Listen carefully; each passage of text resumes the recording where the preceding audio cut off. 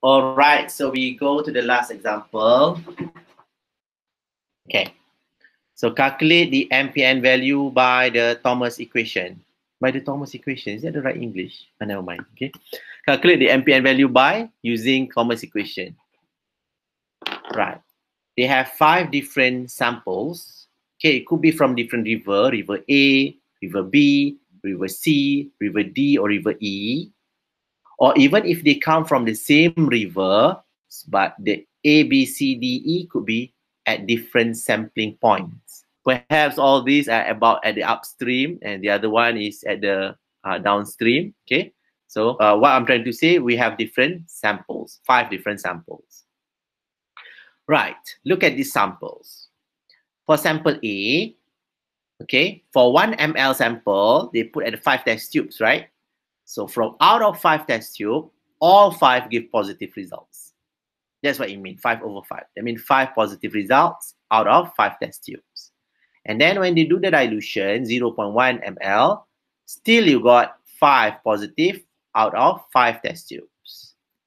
And then when they do the dilution for 0.01, but this one, they have different results. They no longer got five positive, but now only three positive and the other two is negative results. And do another dilution, and then the number of positives become less. Okay, now you have only one positive and four negative results. So you need to choose three positive combination. Remember example two, you've got three positive combination, four, four, two. So for this case, although you've got like four results or even 100 results or five results or whatever, you still have to choose three positive combination. Okay, the problem is which three that you want to choose. Is it 5, 5, 3 or 5, 3, 1? They've got to they've got to take in, in, in order, right? Okay, they just cannot simply just take anyone that they like, like this one or this one or that one. No, they cannot do that. It's got to be in order. So which one do you want to choose? Either 553 or 531. But they have already give you the answer that that is 531. Okay. How come it, they choose 531? Okay. We, we take or we choose 531 combination because this is where the changes start to happen. Okay. Okay, the changes start to happen. What I mean is like this. When you have a 0.1 ml sample, you got five positive results out of five test tubes. Okay. So that is when you use 0.1 ml. When you use 1 ml, you also give five positive results, right? Yes, doctor. Okay, thank you. Okay. When they use 0.1, they got five positive results. Okay, thank you. And then when they use 1 ml, they got also five positive results. Let's assume if we use 10 ml, 10 ml of sample, how many positive results do we get, do you think? Five. Five, okay? And then if you are using 100 ml, five also. Five also. So it's not significant, okay? As the greater number of volume that you are using, they still give five, five, five, five, five, five. Excuse me.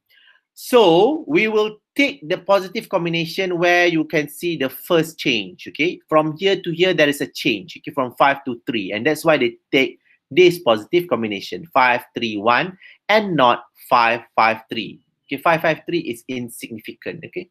Not very significant. So that's why you got 5, 3, 1. Okay, let's let us solve uh, the MPN uh, value for sample A. Okay, so I need, uh, I hope that you guys can refer to the table because I can no longer refer to the table once, once I point out to the my whiteboard. So I hope you can help me with that. Right, okay. Right, I forgot. Okay, we're going to solve question sample A. Okay, sample A. Remember sample A. So we are writing about MPN over 100 ml. Okay, the combination was um, five, three, one. It is the positive combination.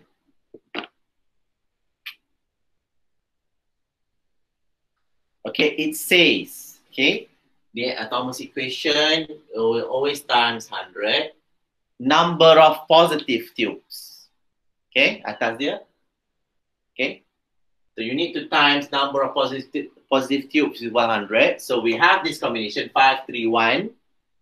Right, when you have this kind of combination 531, you ignore 5. Don't take 5 at all. Throw it away. Okay, so 3 plus 1, we have 4. square root of ml of negative. Okay? Right, ml of negative. Right, since we have ignored this 5, so we do not consider it at all. Okay, so we look at 3 and 1. Okay, this is where you got 4 positive. So we look at the ml of negative. So ml here is 3 positive, that means 2 negative. So 2 times 0 0.01, that means 0 0.02. This one is 4 negative. 4 times 0 0.001, that means 0 0.004. That means ml of negative is 0 0.024. Okay? 0 0.024. Okay?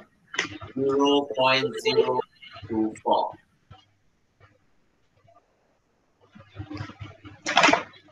And then ml of all. Okay, ml of all so all is 5. 5 times 0 0.01, that means 0 0.05. And all for this is also 5. 5 times 0 0.001, which is 0 0.005. So this plus this, 0 0.055. So 0 0.055. Okay, so 0 0.055. Right. Can you guys try to get the answer for that? And then give the answer into two significant figures. Doktor, saya dapat macam besar sangat lah doktor. Okay, that's okay. Sebelas ribu. Brilliant. Okay, 11,000. That is right. 11,000. Okay, so very polluted water. You can see that.